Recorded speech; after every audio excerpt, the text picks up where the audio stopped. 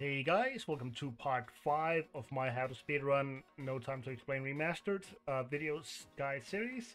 Uh, in this video, we'll take a look at the uh, water shark world, I guess. the Sharktopus world. Um, yeah, let's just get right into it. So, in... Uh, this is the last one where we'll listen, have to listen to uh, this guy complain and uh, that's very lovely. Uh, so right off the bat, you just do a, uh, a, you land here, do a quick hover all over or over all of these spikes into the portal. No biggie here. Uh, for this one, there are a few different strategies. You can go for the risky, just straight up, uh, what's it called, hover from uh, from here. It is very hard to get up there. I very rarely go for it because I have a hard time with it. Um, you can also just go for the uh, the water one. It's a little slow, uh, but it gets the job done. I mean, it was the uh, intended method. Oh, whoops, didn't want to do that. Or you can use utilize the slope to get some extra height um, by walking down, walking just a little bit up, and then uh, shoot and and like use that height that you get to uh, get all the way. And that is a very safe way. It's not the fastest, but very safe way of, of, of, getting there. It's faster than the, the water method. So you do uh, something like this and get up there. Uh, and if you get a very good launch, you can actually go, go straight into the portal. Um, so so yeah, those are the methods. Um, as you can see, you can you can do it uh, here, but if you just you're just a little bit off uh, on the angle and, and stuff, it, it, it doesn't work. And then you go down into water and it's actually really easy if you uh, mess this up to go too far down and hit the spikes, uh, which is obviously not something you want. Um, so yeah, I, I, I opt to go for uh, for this method. Whoops, that was bad.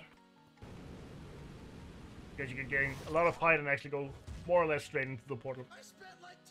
Um, so in the past, past few videos, I've talked about uh, times where you can utilize the uh, small window here to to launch from the spawn, and this is probably the most important level in the entire game to do that. Um, because if you don't, you fall down here, and that takes like you just about a second, I think, uh, if you don't get it. So quite good to get there. Um, so in this level is the first time you really use the uh, the water physics and uh, the movement in water. Uh, for water, you just want to shoot almost as much as possible. Uh, obviously, let go if you need some control, but the more comfortable you get with shooting in the water, uh, the better. Um, and try to block or blow out the, the blocks that are in the way with as short bursts as possible because in the water you obviously get launched backwards uh, when trying to shoot something unless you're standing on, on the ground and even then you get a little, back boost.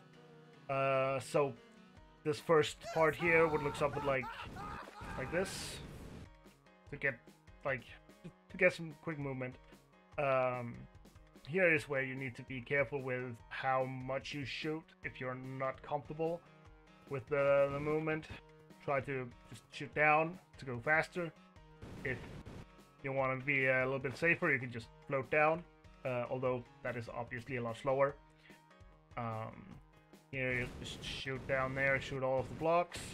And uh, for this last pa part, you want to focus on the uh, the right side over here. Uh, and, and, shoot as many of, or shoot all of the blocks here if you can. You can actually shoot all of all five blocks before hitting the spikes that are down here uh, below. Um, but it takes some practice, and even if you just get four of them, you can uh, shoot down, go upwards, just do a quick swing up, shoot, and down again. Uh, so something like this here is uh, preferable, and then into the portal. Um, but even if you don't get that, whoops, messed that up. Even if you don't get that, it's uh, it's completely fine. So it could be like something like that. and you just do a quick uh, swing up, and, and you get it. What kind of monster is this Um, anyway?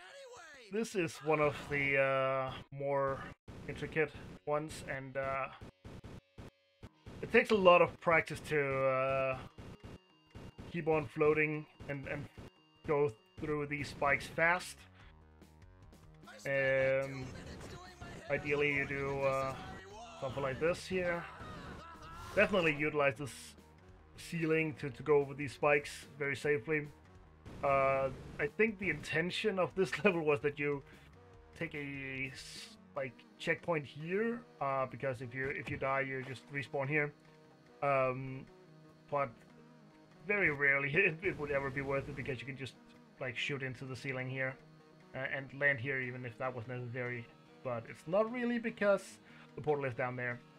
Uh, so quick uh, completion would look something like this here. Boom. Um, for this one, you want to aim for, oops, for uh, this column over here with the spikes because the portal is straight underneath that. Fly over uh, and just like shoot downwards. Not much to it. So ideally you go something like this and you just shoot straight down. Um, here the we actually do a little bit of a skip. The intended route is obviously this here and into that. Uh, but you can fairly easily, if you just shoot down and, and hold right, skip these two uh, water blocks over here, which is obviously a lot faster. Uh, so yeah, something like this, or a little diagonal to uh, get a more get more horizontal speed, and uh, enter the boss. Uh, so this boss is a little weird. Uh, recently I upgraded from uh, 16 RAM to 32 RAM, which decreased the load time uh, a whole bunch. Which uh, we had to to really get a load remover developed, and uh, that's nice. Works wonderful. Can talk about that and maybe in a later video. But for this, uh, for some reason, it changed this fight. the the amount of RAM. I'm pretty sure that's it. There wasn't any. I didn't do any other changes to my computer other than that. Um, so in this fight, you there's two phases, and in uh, phase one, you uh, have you fight against the shark that pops up and tries to attack you. Uh, before it does that, it sends up some bubbles um, that are kind of crucial in uh, in terms of timing. But for some reason, it, it only does it like half half the time now for me, uh, which is very annoying. Hopefully, won't do that for you. Uh, I still haven't figured out exactly why it does it or why it doesn't. Um, so now I have to rely on the music cues to know uh, know the timing and stuff. But essentially, there are some some bubbles that pop up uh, where the shark will will jump up. Uh, it is very tempting to switch boat um, as soon as you see the bubbles, but that will just mean that the shark will uh, jump up and over to the the other boat. Uh, so let me see if we can show you here. Um, okay, no bubbles this time. So here, it just jump straight up. That's what we want. If we move too fast, it'll jump over uh, and, and and attack us like that. We don't want that. Um, at least not on the first jump. Um, and as you can see, there was no bubbles, which is totally random. Um, so yeah, let's see. There we have the bubbles. Ideally, you want to wait until the bubbles hit the boat. I think I was a little fast there, yeah. Um, and you can see the uh, the shark moved over. Um, but ideally, you want to wait until the bubbles hit the boat that you're standing on. See if there's uh, bubbles this time. No bubbles. And as soon as you land on the other boat, you just start shooting. For the uh, the second jump, it is okay if it jumps over toward or like uh, it, it jumps back to to you towards you to the middle boat, um, because you can kill it before it hits you, or kill the first face before it hits you. Uh, but for the first for the first dive, it's it's very uh, awkward if it uh, if it jumps over, and uh, it's very hard to dodge without jumping into the water. And if you don't jump into the water, you have a hard time setting up for the the next jump and, and so on. So the first uh, first part is definitely the most important. Um, for the second phase, we have the uh, the octopus, and uh, there's actually a safe spot here on the uh, on the boat on this very far right side. And just uh, keep shooting at a diagonal, tapping left. Ignore that it uh, dips down. Keep shooting, and uh, just ha- have a constant visual on yourself and the position you are at uh, until uh, it, it uh, roars up.